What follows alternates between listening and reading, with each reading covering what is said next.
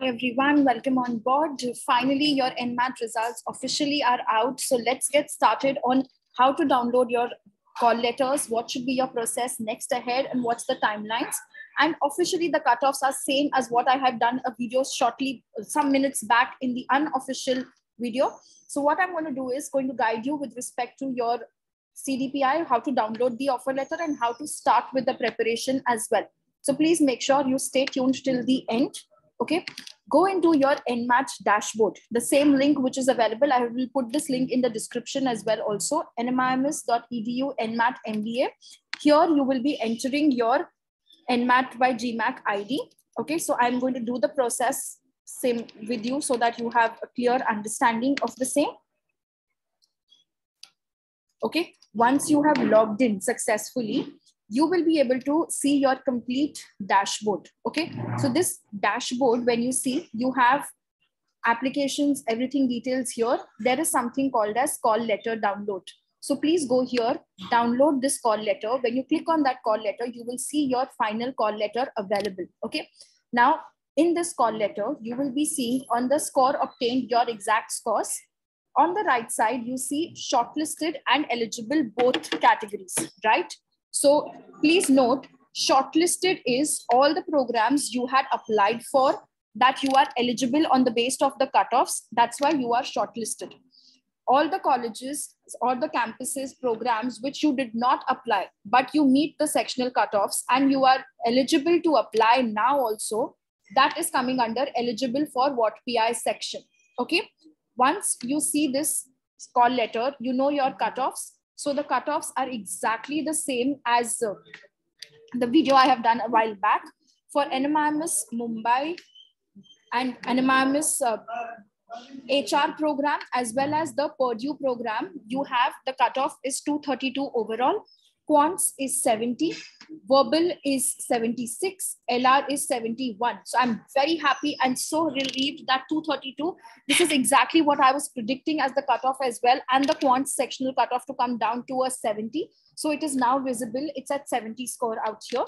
Then you look at your Bangalore and Navi Mumbai campus. The overall cutoff is 224, okay? And the sectional cutoffs are quants 64, verbal 70, 65 for LR, all right?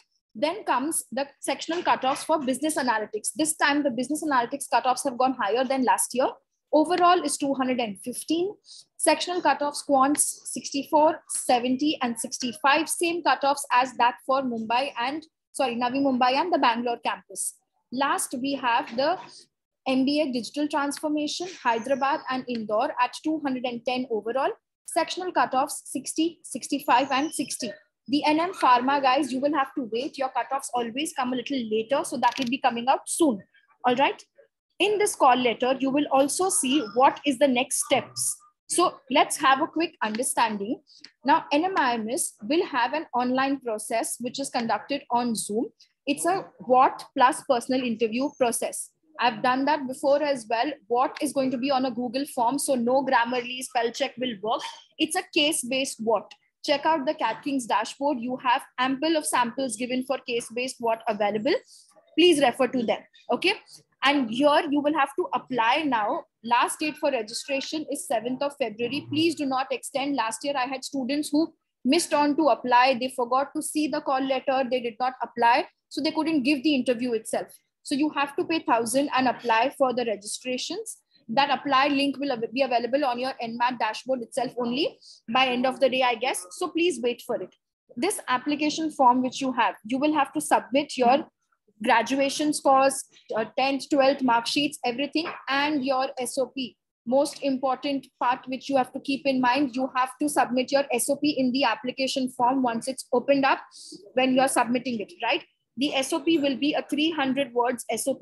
At max, it may extend to 350, but 300 words SOP for sure. So please draft your SOPs and get done with it.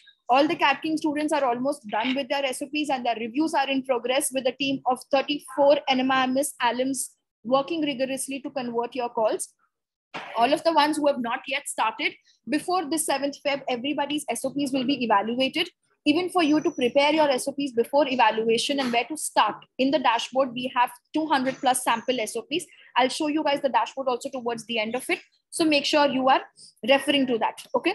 All the uh, scores and updates which you put in here, your work experience dates, everything which is submitted in this form is going to be applicable for your admission and in the final selection process as well. So ensure you do not skip it up, okay? Last year, what NMIMS had done is when the WAT and PI process started for the first batch, the weightage was discussed. So the weightage for your uh, NMAT process is very important. Please take notes of the same.